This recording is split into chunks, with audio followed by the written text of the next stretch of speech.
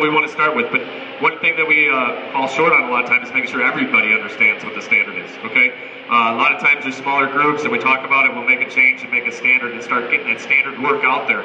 But that's where the documentation and making sure the buy-ins involved. Okay. All right, uh, so the quote for today is Every person has two educations, one which he receives from others, and one which he gives himself. Right. Right. Every time we do something wrong, we learn something, right? Everybody's got to do something wrong to find out what's right. So, all right. Any safety issues or concerns?